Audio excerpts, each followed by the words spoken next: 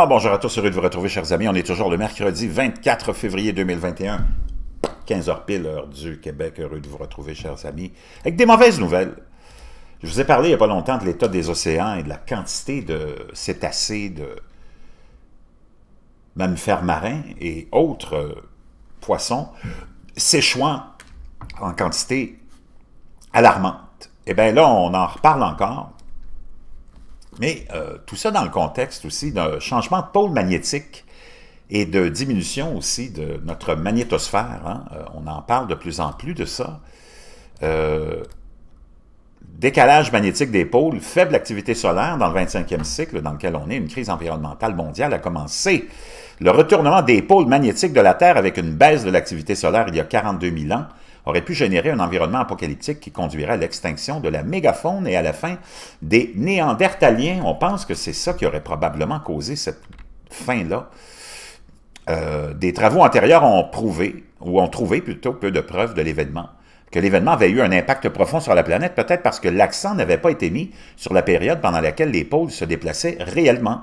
Aujourd'hui, les scientifiques affirment que le retournement associé à une période de faible activité solaire aurait pu être à l'origine d'un vaste éventail de phénomènes climatiques et environnementaux aux ramifications dramatiques. Ici, on peut voir 50 dauphins trouvés morts échoués au Mozambique. Je laisserai comme d'habitude tous les liens dans la boîte de description. Les corps d'environ 100 dauphins morts ont été retrouvés sur une île au large des côtes du Mozambique. 80, 86 euh, autres carcasses ont été retrouvées sur l'île de Bazou euh, Bazaruto, pardon, au nord de la capitale Maputo, mardi, après qu'un premier groupe ait, échoué euh, dimanche. Il y a des vidéos, vous allez pouvoir aller les voir. Cette mortalité massive du troisième cétacé est-elle un signe direct du déplacement des pôles magnétiques et du déclin de la magnétosphère? On pourrait, ou pourrait-il être lié à la tempête solaire actuelle? Parce qu'on a une tempête solaire aussi qui est en train de, qui a été généré par le Soleil, et qui, avec ses rayons euh, cosmiques et ses rayons gamma et autres, protons, neutrons, s'en viennent vers la Terre et ça cause souvent une défaillance dans les euh, systèmes, euh, souvent de transmission satellitaire, entre autres. Quand ils ne sont pas trop majeurs, même, quand ils ne sont pas trop majeurs, on sait que les cétacés, les mammifères marins, se déplacent avec un, leur radar. Il se fie aux ondes. Hein? Euh, peut-être que ça est euh, affecté lors de ces événements euh, solaires-là. Pour les scientifiques, la cause des décès est encore inconnue. D'autres experts se dirigent vers le site. Le cyclone Guambe de la semaine dernière a provoqué des troubles dans les eaux au large de l'île de Bazaroto, a déclaré le chef de l'inspection du Parc national de l'archipel. Il a ajouté que les dauphins sont connus pour suivre leur chef jusqu'au rivage lorsqu'ils sont en danger. L'autopsie n'a pas révélé de problème avec la peau, la langue ou les intestins, a-t-il dit. Cependant, d'autres échantillons ont été envoyés au laboratoire.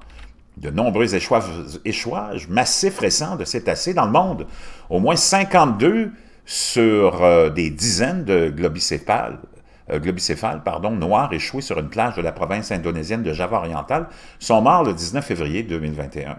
Dans ce cas, les autorités soupçonnent qu'une baleine de l'école ou du groupe a été blessée ou malade alors que les autres la suivaient ou la gardaient ou prenaient soin d'elle. Ils se sont retrouvés bloqués jusqu'à ce que 52 personnes aient été retrouvées. 52, euh, il voulait dire personne, mais 52 individus de ce groupe-là euh, aient été retrouvés mortes ce triste matin, le jour suivant, en Nouvelle-Zélande, un groupe de 89 globicéphale noir a été découvert à Farewell Split au milieu de l'après-midi. Neuf euh, des baleines de la nacelle ont été déclarées mortes.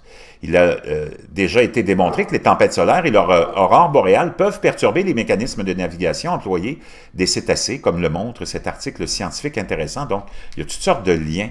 Ces derniers jours, d'étonnantes aurores boréales ont été enregistrées dans le Nord. Nous pouvons donc avoir une explication à ces disparitions massives donc, l'article en question, hein, les tempêtes solaires peuvent déclencher des, euh, échouages de cachalot, approche explicative des échouages multiples en mer du Nord de 2016. Donc, on peut voir euh, cet article-là, vous y aurez accès euh, avec Strange Sound. Donc, vraiment,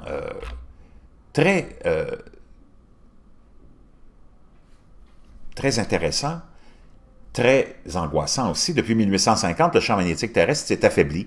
Au tournant du millénaire, il a alors commencé à réduire de façon exponentielle à plus de 10% Par décennie, cette baisse est extrêmement euh, préoccupante, et voici pourquoi. Le champ magnétique terrestre nous protège du rayonnement spatial, et la chute de nos boucliers est une très mauvaise nouvelle pour toute vie sur notre planète et pourrait même conduire à la prochaine extinction de masse. Des données existent pour de nombreux autres échouages ces derniers temps, et devinez ce qu'ils se produisent. Euh, tous, imaginez qu'ils se produisent tous en plus pendant les minimums solaires en, 1880, en 1985, quelques 450 globicéphales était échoué à Auckland, en Nouvelle-Zélande, en 1996-320. On, on vous donne toute une liste. Vraiment intéressant, je vous laisse ça dans la boîte de description. Un peu angoissant, un peu inquiétant.